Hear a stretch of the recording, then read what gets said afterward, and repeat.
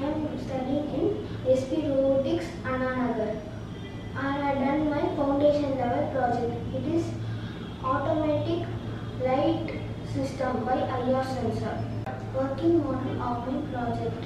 By using IR sensor, I have made an automatic door open light. If I close the door, the light will be switched off. When I open the door, the light will be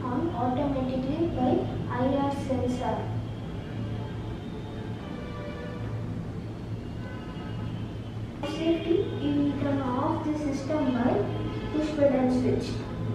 The products that I have used in this project is a IR sensor, a LED, a power supply board, a push button switch, battery and a barrel jack cable. Thank you for watching my project.